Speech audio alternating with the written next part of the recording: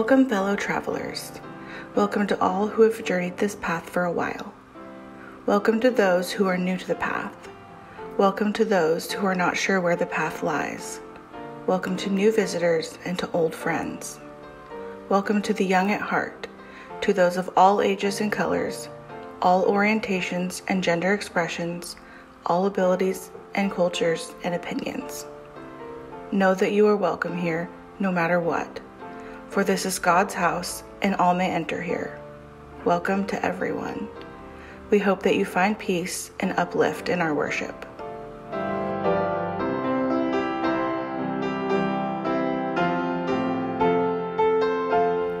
I will extol you, O Lord, for you have drawn me up, and did not let my foes rejoice over me. O Lord my God, I cried to you for help, and you have healed me. O Lord, you have brought up my soul from Sheol, restored me to life among those gone down to the pit. Sing praises to the Lord, O you faithless ones, and give thanks to the, his holy name. For his anger is but for a moment, his favor is for a lifetime. Weeping may linger for a night, but joy comes with the morning. As for me, I said in my prosperity, I shall never be moved by your favor, O Lord. And you had established me as a strong mountain. You hid your face. I was dismayed. To you, O Lord, I cried, and to the Lord I made supplication. What profit is there in my death if I go down to the pit? Will the dust praise you? Will it tell you of your faithfulness? Hear me, O Lord, and be gracious to me. O Lord, be my helper. You have turned my mourning into dancing. You have taken off my sackcloth and clothed me with joy, so that my soul may praise you and not be silent. O Lord my God, I will give thanks to you forever.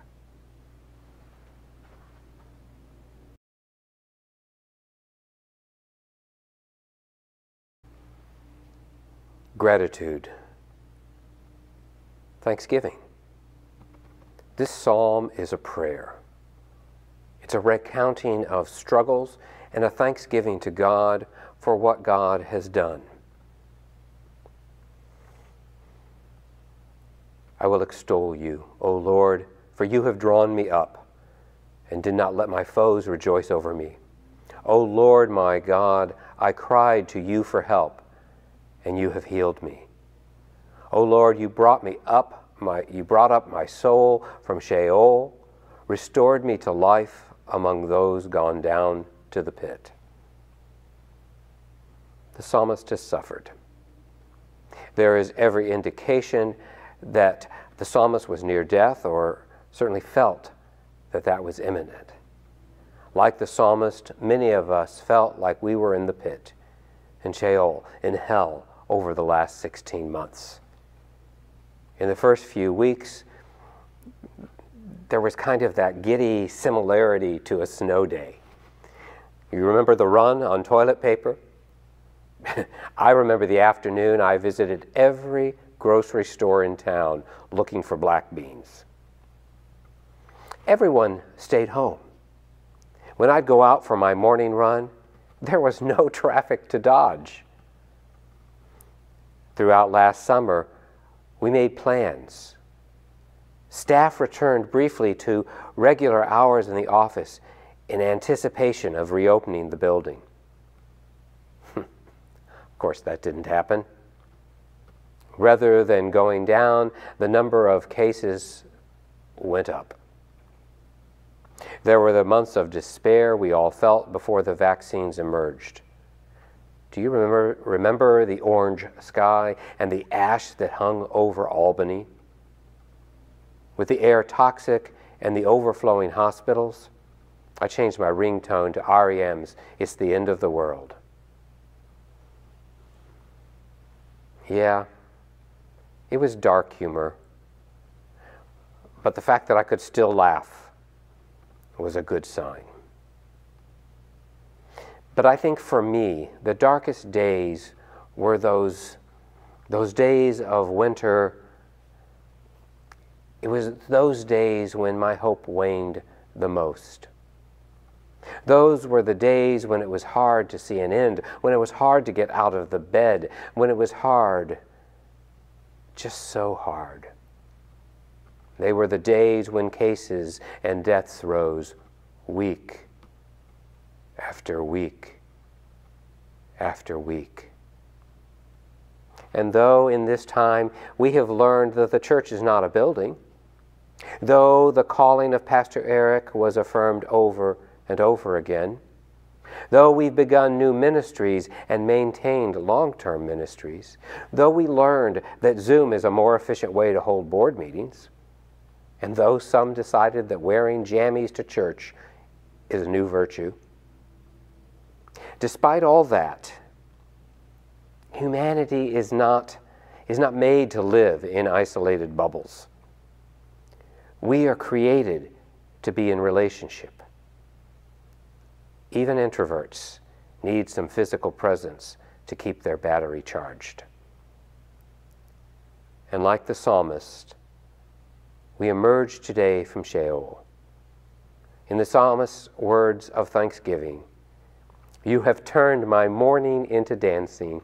You have taken off my sackcloth and clothed me with joy, so that my soul may praise you and not be silent.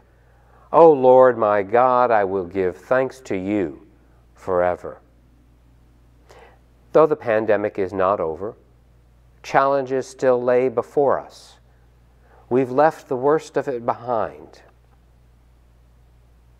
And today, we emerge from 16 months of worshiping exclusively via Zoom and YouTube.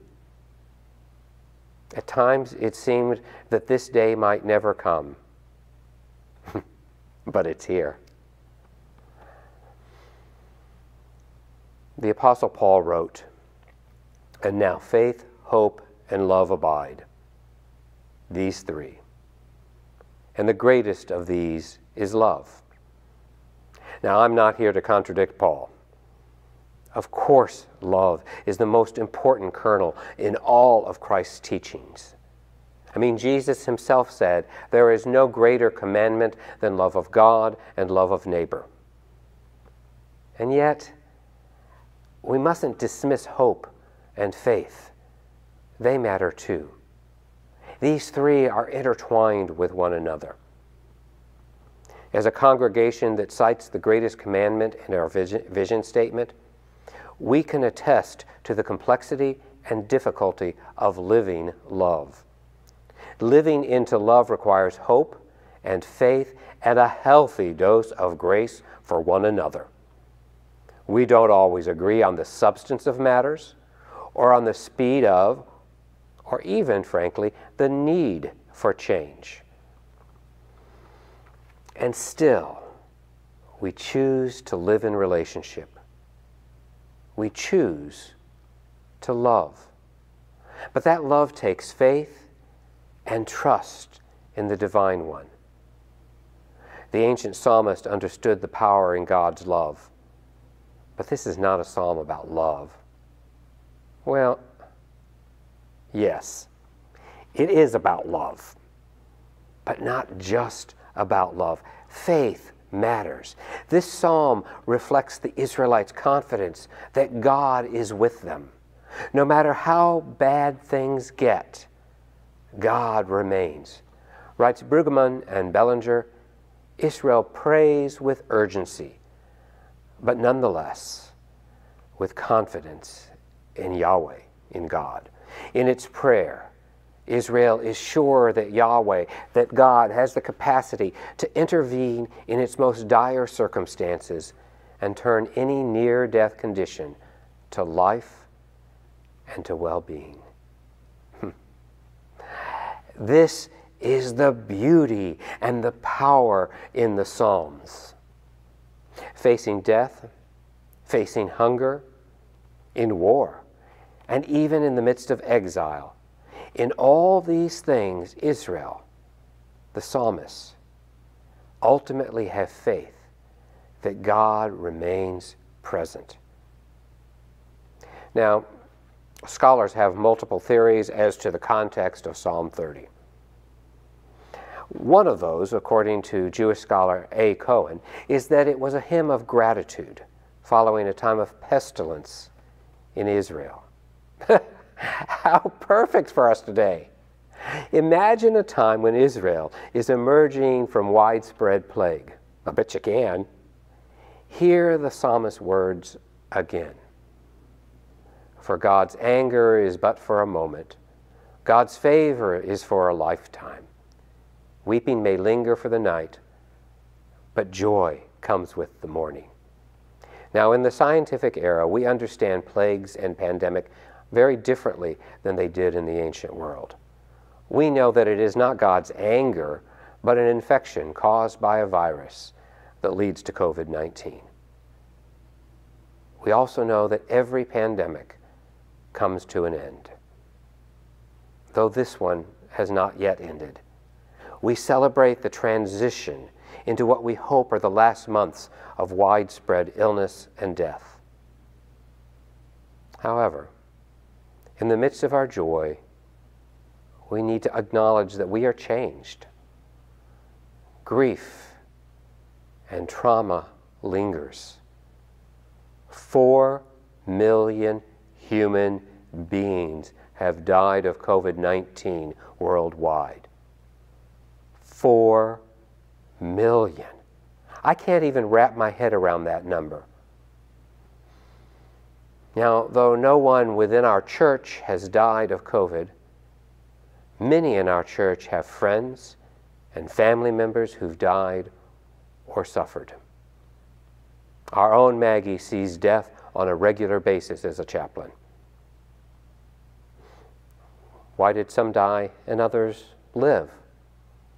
Notes African scholar Nupanga Weanzana, God can use many different ways to heal people. God can heal through prayer alone, but God can also heal through medicine or surgery.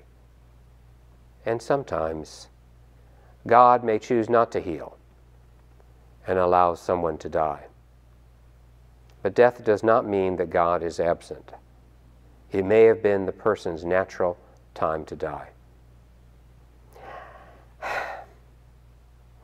I suspect, I think, I think we expect that there, there is a reason for why someone lives or dies, why someone gets cancer or doesn't. But often good and bad and suffering and wellness are just the nature of the human experience. Life is random. We thought that we were above the natural order of a pandemic. We thought that our medicine and our scientific advances had moved us beyond the deaths of 600,000 of our countrymen and women. Sadly, to be human is not like that. We each carry the scars of the last 16 months in our bodies, in our psyches, and deep within our souls. We are changed. We are not the same church we were in January of 2020. But this I know God was with us in the isolation. God was with us in the fears and in the heartache. God was with us in the sobs and in the depression. And God is in this place with us now. And despite the trauma we carry and will be processing for a very long time to come, today is a day for celebration. In the words of the psalmist, you have turned my mourning into dancing. You have taken off my sackcloth and clothed me with joy, so that my soul may praise you and not be silent. O Lord my God, I will give thanks to you forever. Amen.